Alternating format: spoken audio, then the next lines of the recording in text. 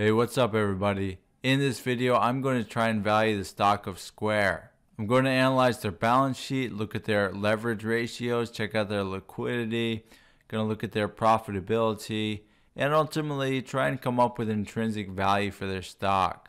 If you're new to the channel, my name is Dan. I do a lot of stock analysis on this channel, so hit that subscribe button if you want to see more videos like this one. Alright, let's get started.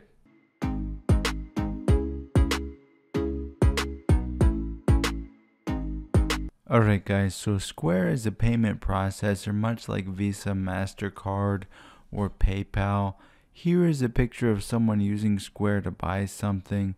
So you guys have probably used Square yourselves or you've at least seen someone else use it. Essentially you can buy things just with your cell phone, which is a very useful thing.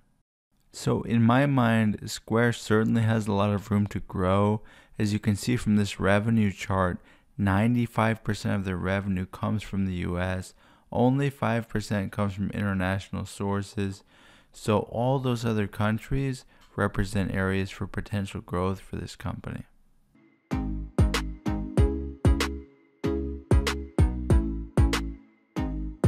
Alright, so here's a quick look at Square stock. It's currently selling for about $276, giving it a market cap of about 122 billion it's worth noting they have considerable short interest at 7.6%. That means about 7.6% of their shares have been sold short.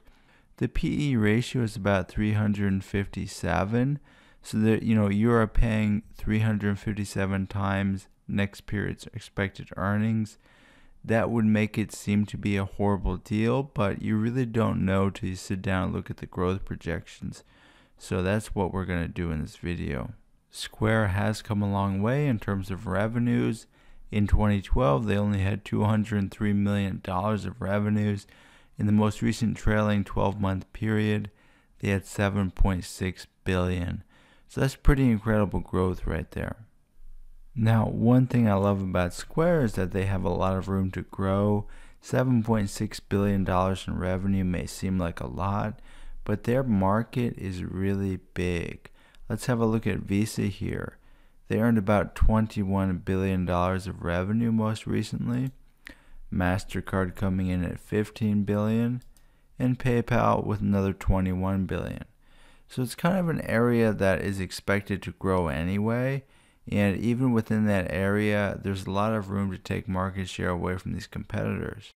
Another very attractive thing about these payment processing companies is that they have quite a few fixed costs rather than variable, meaning that their their profitability is expected to grow over time. Their margins will grow. Just have a look at their gross margin and operating margin over time. You can see it's the same business, but they've had negative operating margins all the way up until recently, and now it's turning positive although slightly negative in the trailing 12 month period there. But you can see they're turning the corner. And, you know, going forward, as long as they grow their revenues, I expect their costs to not grow by as much. And they're going to become a very profitable company if they get big enough. Here is full time employee data for Square. Now, I don't really have data going back to 2014, but after that point, here are the number of employees so this is another great thing about the company. A company like this doesn't really require a lot of employees, which really helps reduce their, their cost. Keep in mind, revenue went up by an incredible amount between 2018 and 2019, yet they only hired, looks like, less than 500 employees.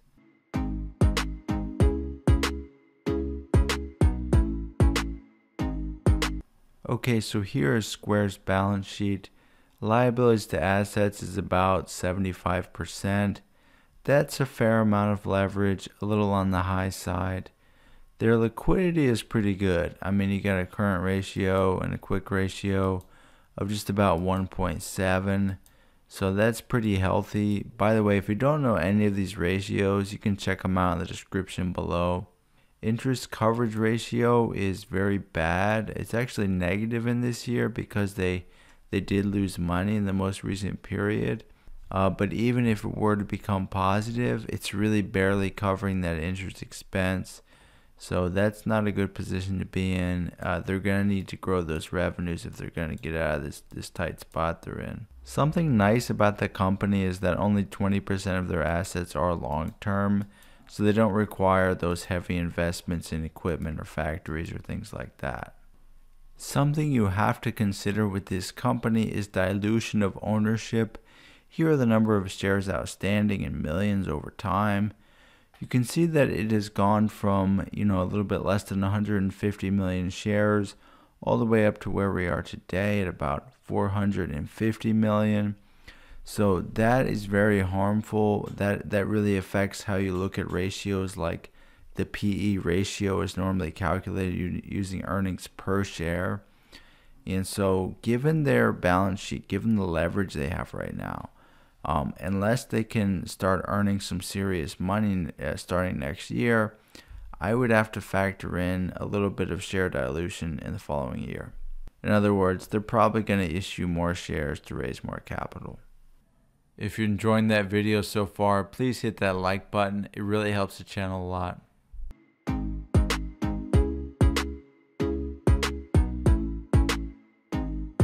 Alright guys, so at this point in the video, I want to use an intrinsic valuation model to value the stock of Square.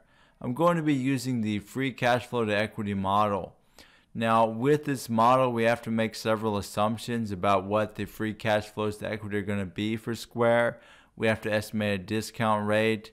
And so it's going to be a difficult process, especially for a company like Square. They don't have a long operating history the history they do have is very unstable. They have been reporting losses, and so we're going to have to estimate how much revenues are going to grow by and how much their margins will be changing by. You know, I've talked about in this video already, but I do expect their margins to grow over time as they gain more users, they get greater economies of scale. But how much can their margins grow and how quickly can they get there? That is going to be a tough estimation. Let's jump into it. All right, here are our revenue forecasts for Square. I can see they're going to grow an incredible amount. They're expected to be reporting earnings this week, expected to have revenues that are about 300% higher than the previous period. After that, they also expect pretty incredible revenue growth going to 13.4 billion the next year, then up to 16 billion and so on. So we've got a pretty good growth path here. It does have considerable risk. One thing I do want to highlight is the analyst forecast dispersion. So if you look at the low versus the high estimate, there's a huge difference. Some analysts actually think, you know, for example, in 2021, they're going to be earning about 9 billion in revenue. The high the highest estimate is about 23 billion. Same thing for the following year. Could be as low as 11 billion or as high as 30 billion. So yes, we can just take the average for our forecast, but you really have to keep that in mind that the pessimistic guys could be right. There is considerable downside risk here.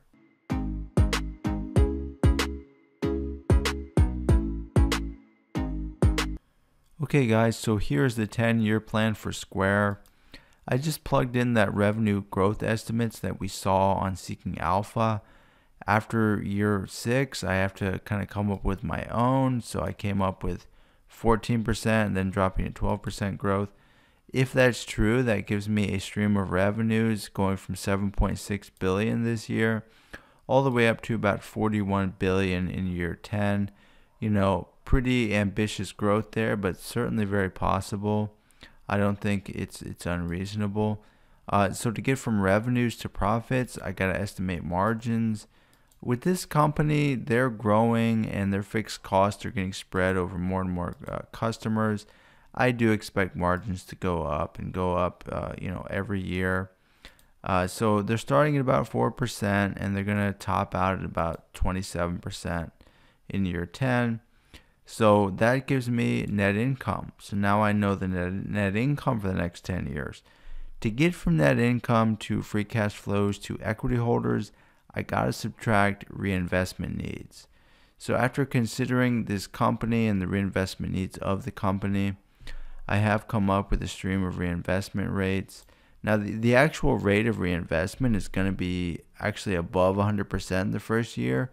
They're going to have to reinvest more than they actually made. Not unusual, but that rate will go down. Uh, even as their reinvestment needs actually go up, the rate goes down because they're not having to, to spend as large of a percentage of what they make because their their earnings are going up. Uh, but anyhow, guys, that is the idea. That gives me a stream of free cash flows to equity. Let's take that stream and figure out the intrinsic value of the stock. All right, guys, so I take that stream of free cash flows to equity. I'm going to discount it back to present value using an 8% discount rate. And then I'm going to add them all up and I'm going to add that terminal value after I discount that back as well. So the total firm value consists of about $2.8 billion of cash, 18 billion consisting of the cash flows for the next 10 years, and about 70 billion in that terminal value. Now with that terminal value, I am assuming that after 10 years, Square is going to be able to continue to increase their, their free cash flows at a rate of about 2.5% per year in perpetuity. That gives me a total firm value of about 91 billion, which would mean $204 per share. Uh, unfortunately, that is quite a bit less than what it's trading for. Let's modify a few assumptions. So one assumption we can modify right away is that discount rate or required rate of return. If we take that down to 7%, this, the intrinsic value becomes $262.76 per share, pretty close to what it's trading for right now. So if you want a roughly 7% return, uh, you know, you can buy Square at the price right now. You, you'll achieve that according to our estimates. Um, but, you know, when I look at the balance sheet and the competition and everything, you know, honestly, I don't think you can go less than 8%.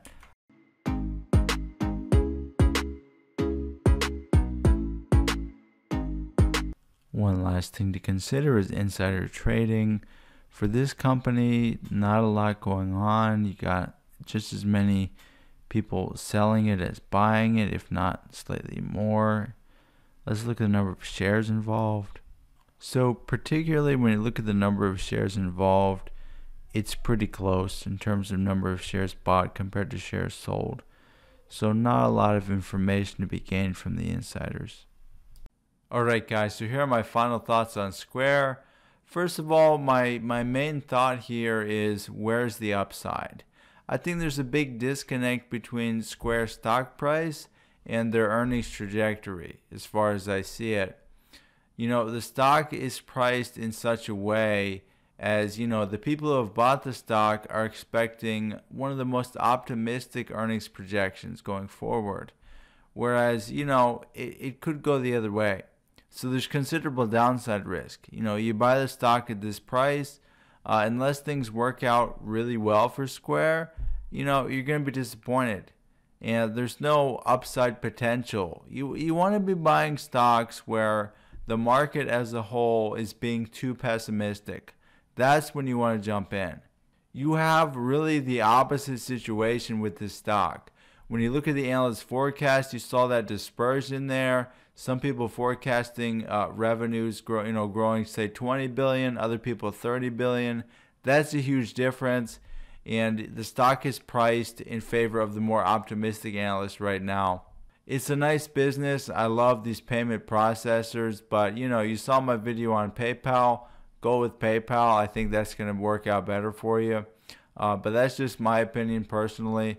Let me know what you guys are going to do in the comments below. Thank you for watching.